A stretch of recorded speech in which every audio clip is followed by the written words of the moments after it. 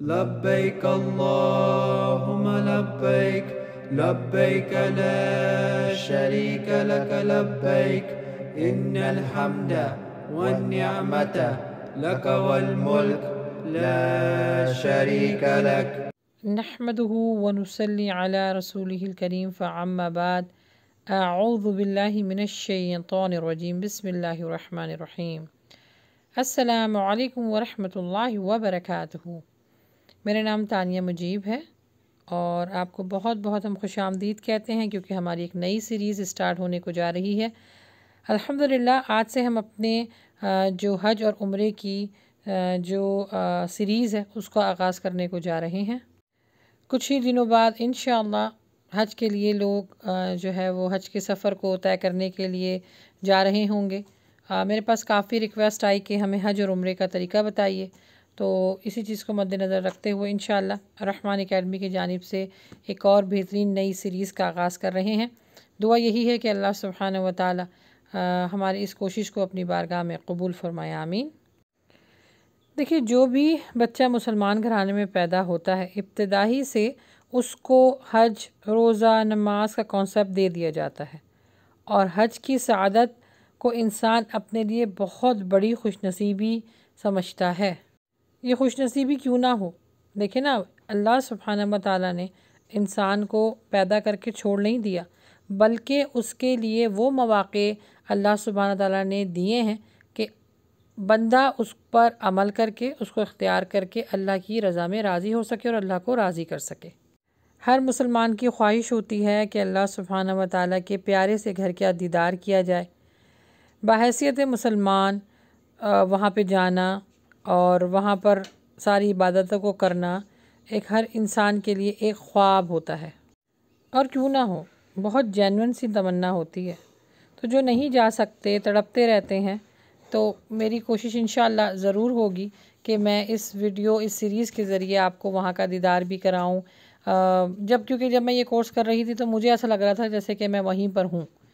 اس ایک ایک لمحے کو میں محسوس کر رہی تھی۔ تو میں آپ لوگوں سے بھی گزارش کروں گی کہ اس سیریز کو اسٹارٹ کرنے سے پہلے اپنی اچھی اچھی نیتیں بنائیں۔ اللہ سے پرومسز کریں اور دعا مانگیں کہ اللہ تعالی ہم سب کو بھی اس کے گھر کا دیدار ضرور کروائے۔ انشاءاللہ۔ تھوڑا سا اس گروپ کا اور اس سیریز کا میں فارمیٹ بتاتی چلوں کہ انشاءاللہ یہ کورس ہے اور مکمل کورس کروایا جائے گا۔ حج اور عمرہ دونوں کے جو طریقے ہیں، انشاءاللہ وہ سکھائے جائیں گے۔ ہر چیز آپ کو بتائی جائے گی کہ حج کیا ہوتا ہے، حج حج کے اداب کیا ہیں، اس کو کیسے ادا کرنا چاہیے، اس کی روحانیت کیا ہے، اس کے فائدے کیا ہیں، ہم پر یہ فرض کیوں کیا گیا، ہمیں کیوں کرنا چاہیے؟ کیا خواتین بغیر محرم کے جو ہے حج کر سکتی ہیں، عمرہ کر سکتی ہیں؟ اور کن کن کے اوپر حج فرض ہے؟ اور جن کے اوپر فرض نہیں ہے تو وہ کیا کریں؟ یہ ساری ڈیٹیل انشاءاللہ میں آپ کو بتاؤں گی۔ الحمدللہ ہم مسلمان گھرانے میں پیدا ہوئے ہیں اور اللہ سبحانہ و تعالیٰ نے ہم پر اپنی بارگاہ میں قرب حاصل کرنے کے لیے، کچھ نیکیوں میں اضافہ کرنے کے لیے، گناہوں کے کفارے اور جنت کو حاصل کرنے کے لیے کچھ عبادتیں ہم پر لازم کی ہیں، جن میں ایک بہت ہی اہم اور مالی اعتبار سے بھی، جسمانی اعتبار سے جو عبادت ہے، اس کا نام ہے حج۔ ہمارے بہت سارے بہن بھائیوں کو اس فریضے کے بارے میں نہیں پتہ کہ کیسے کرنا چاہیے، کب کرنا چاہیے۔ اور بعض لوگ تو استطاعت رکھتے ہوئے بھی حج نہیں کرتے، تو اس پہ کیا گناہ ہے؟ اور سب سے بڑی بات ہے کہ آپ وہاں پہ جا رہے ہیں، کن کن چیزوں کو آپ کو خیال رکھنا ہے، کیا چیزیں اپنے ساتھ لے کے جانی ہیں؟ اور اگر وہاں پر جا کر آپ نے سارے معاملات کو نہیں سیکھا پہلے سے، تو یاد رکھیں ہر قدم پر پھر آپ کے دم واجب ہوگا۔ اور دم کی بھی مختلف جو ہے وہ قسمیں ہیں، ان کی بھی اقسام ہیں۔ تو ان کے بارے میں بھی انشاءاللہ آپ کو بتایا جائے گا۔ کہ کیا اگر آپ کریں نہیں کریں گے تو اس پہ کون سا دم واجب ہوگا؟ تو بہتر یہی ہے کہ حج اور عمرے کے بارے میں ضرور سیکھیں، کیونکہ زندگی میں ایک ہی دفعہ موقع آتا ہے، جس پر کیونکہ ایک ہی دفعہ کرنا فرض ہے نا، تو اس کے لیے تیاری کریں۔ دیکھیں نا ہم دنیا میں رہتے ہوئے ہر چیز کی تیاری کرتے ہیں کہ نہیں کرتے؟ ہمارے اگزام ہو رہے ہوتے ہیں، اس کی تیاری کرتے ہیں۔ مہینوں پہلے اگزام کی تیاری شروع ہو جاتی ہے۔ کسی کے گھر جاتے ہیں، دو دن پہلے جو ہے وہ کپڑے نکالنا اور تیاری کرنا، اور کس راستے پہ جانا ہے، کون سی سواری پہ جانا ہے، کیا پہننا ہے، یہ سب کچھ تیاری کرتے ہیں۔ بچوں کی شادیوں کے لیے سالوں پہلے جو ہے ہم پلان کر لیتے ہیں کہ اب ہمیں یہ کرنا ہے، اور پھر اس کے ساتھ ساتھ ہم اسی طریقے سے چلتے بھی ہیں جو سوچا ہوا ہوتا ہے۔ لیکن کیوں ہم آخرت کی تیاری نہیں کرتے؟